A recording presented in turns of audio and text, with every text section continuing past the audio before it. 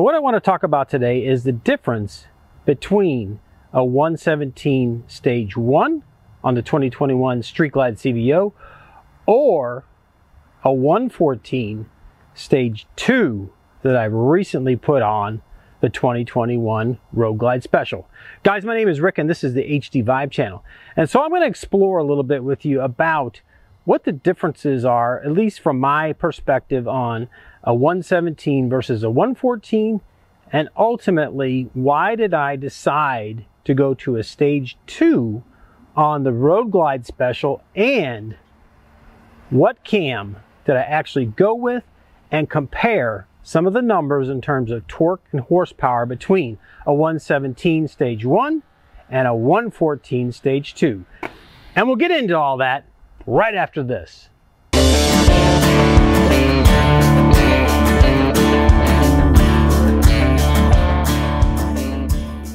That's right guys, today we're going to be exploring um, the differences between a 117 stage 1 and a 114 stage 2.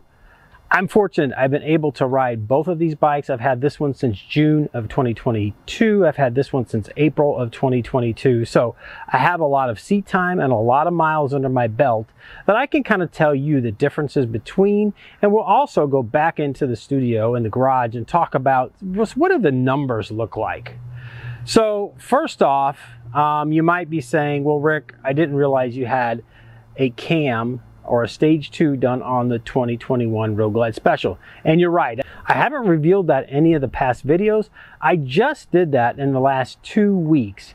And I will tell you, it's one of those things that I wasn't really ever really too excited about doing.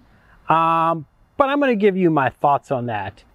One of the things that drove me to that was um, the 117. Um, I guess you could say it spoiled me um, in some respects, but this has the Screaming Eagle 432 cam, which is a performance torque cam that comes stock on the CVO and I think all of the 117s, you know, on the STs.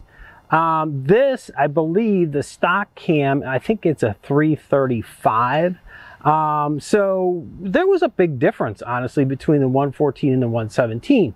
Um, you know, snappier response from the throttle on the 117 versus the 114. Um, you know, when I was in higher gears on the highway, I didn't have to downshift um, to get out of the way of traffic or a truck or a pass.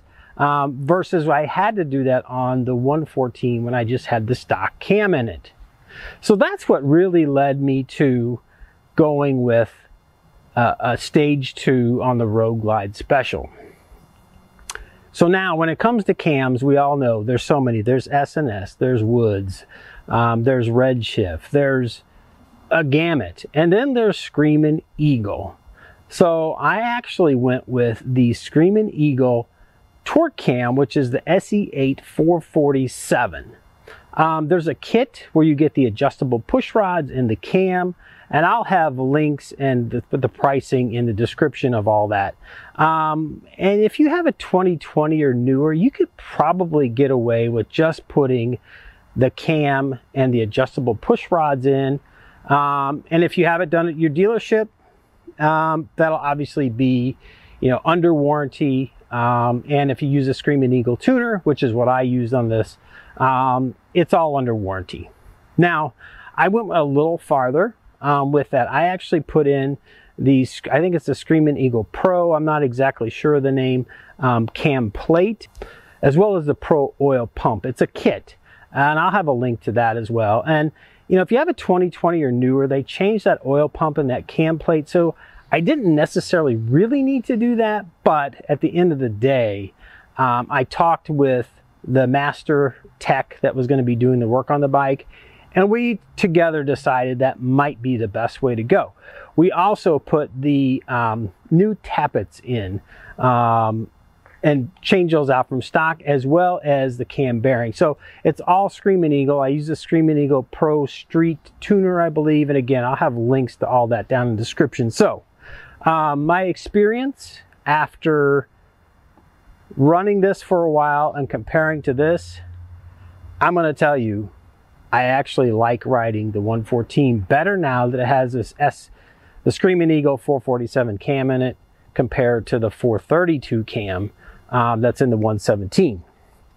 So now my debate is, do I then put a 447 in the 117 and go to a stage two? I could do that, um, and it's really not all that expensive. Now, one of the reasons I went with putting the cam plate, the new cam bearing, the tappets, all of that, the labor was no difference um, in doing that all on the 114. So, you know, would I have to do that and add those extra parts on the 117? Probably not. And that might be a consideration for you guys as you're kind of debating on this. So, you know, why didn't I go with an S&S? Everybody, a lot of people go with the S&S. Um, one, I wanted to keep my bike under warranty. Um, the work was all done by uh, Harley Davidson master technician um, with Harley Davidson parts. So that for me, that was important. Um, I also didn't want to get too aggressive with the cam. Uh, an S&S 475 is awesome and you're going to get probably more horsepower out of the, the cam uh, or out of the engine than you would with the Screaming Eagle. Uh, but um, I have a friend who actually put S&S 475 in. Um, he doesn't really like it because it's so loud. Um, and also his gas mileage um, suffered tremendously when he put the 475 cam in. So, you know, for me, that was a consideration. I didn't want something that was super loud, although you do still get a little bit of lope with that cam. It's not a really high lift cam, but it you do get lope. And it actually, to me, again, sounds better than the 117. So, um, I'm to do a quick startup of these two, and then we're to go back in the garage and we'll talk some horsepower and torque numbers comparing the 117 stage 1 to a 114 stage 2.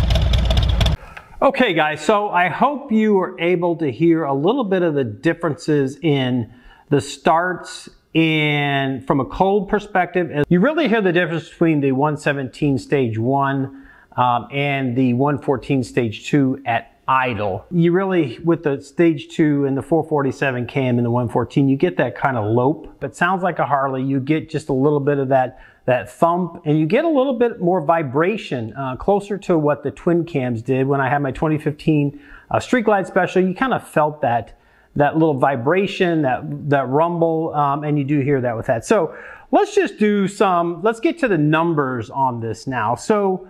Um, I went through, and this is just base numbers. I've not had either one of these bikes dyno tuned. This is information from Harley Davidson using Harley Davidson parts and Harley Davidson tuners. So the Pro Street tuner. So the 117 um, stock has about 92 horsepower, and that comes on at 4,500 RPMs. Um, the torque on the 117, again stock, is about 112 foot-pounds, and that comes on in that 3,500 range. So this has a stage one. They don't have information for that, but I'm guessing horsepower-wise, with the stage one, and I have Rinehart DBX 45s. Again, I have the same exhaust on both of these bikes and stock headers. Just remember that. Um, I would say the horsepower on this is probably in the 95 to maybe getting up to 100 uh, with the stage one. And the torque, I'm going to guess is in that is in that 115-ish range maybe 120 uh, foot-pounds again at that 3500. That's where it really comes on. And again, that's a 432 performance cam that is stock on the CVO 117. I believe it's the same cam that they put into the ST models. So let's talk numbers on the 114. Now this is stock again Horsepower, we're probably in the 85 to 86 range at 4,500 RPM. And that compares again to the 117 stock 92-ish at 4,500 RPMs. Then let's go down to torque. So torque on the 114 stock is about 100 foot-pounds at 3,500 RPMs.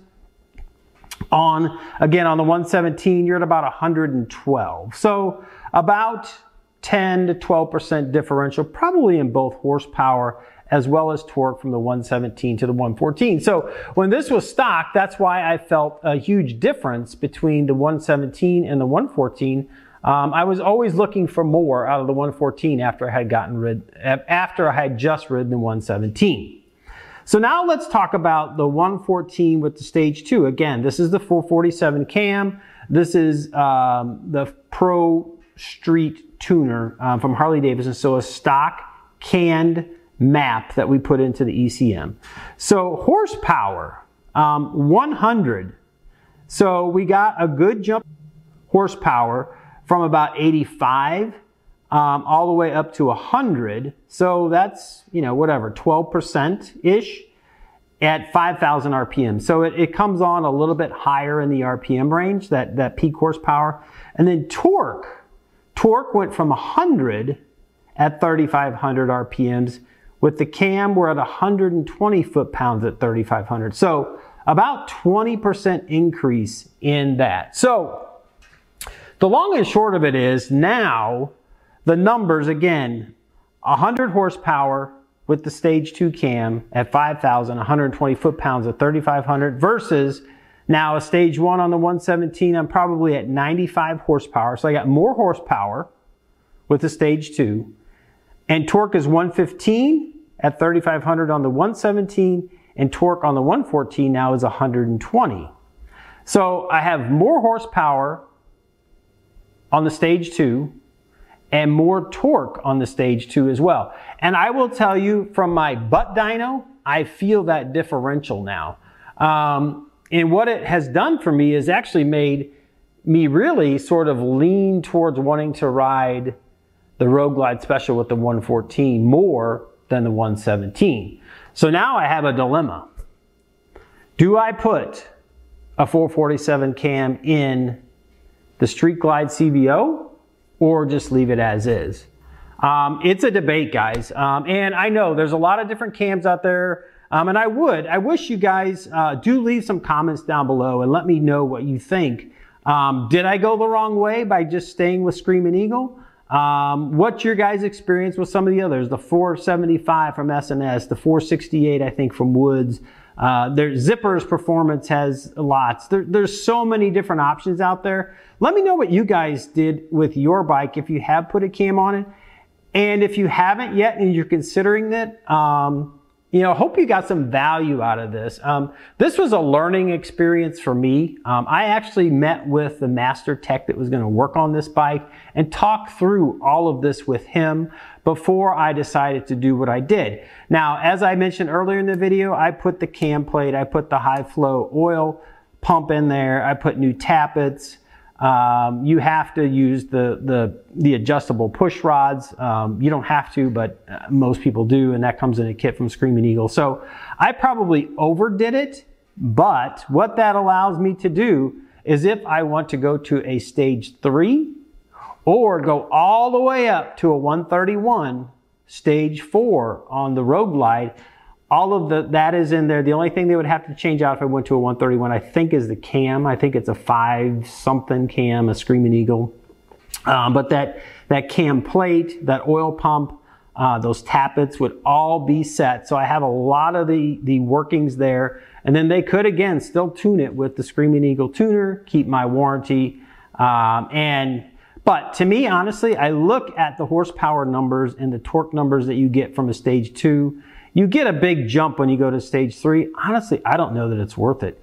And it also makes me think when you're trying to decide between a 107, a 114, or a 117, um, and you're not maybe necessarily thinking about going to a CVO uh, for all of the other reasons that you go to a CVO, um, I think I'd stick with the 114 and put a cam in it and I know there's more aggressive cams in there, so you can get, I know you can get more horsepower, more torque from some of those other cams.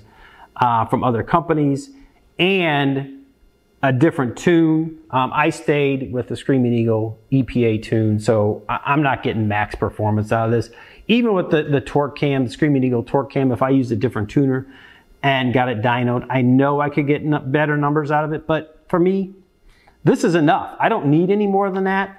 It's reliable. It's warranted by Harley Davidson and my dealership, the labor that they did on it. So it makes me feel more comfortable. So guys, if you found value in this uh, video, please give it a thumbs up. Uh, also share this with your friends. If you know someone else who's considering changing out a cam or deciding which way to go with the cam or not, a 114 or a 117, put a cam in, I'm um, share this and maybe they'll get something out of this as well. If you haven't subscribed to the channel, I'd appreciate it if you would hit that subscribe button. And when you do subscribe, if you're a new subscriber, I'd really appreciate if you let a put a comment down there and say, "Hey, I subscribe," so I can reach out and thank you for supporting the channel because I do that. Everyone who subscribes and lets me know, I say thank you for subscribing because I really do appreciate all the subscribers and the viewers as well. Um, and with that, guys, I want to leave you with this thought: Life is short get out and ride the bike. Thanks for stopping by, and we'll see you on the next one. Bye now.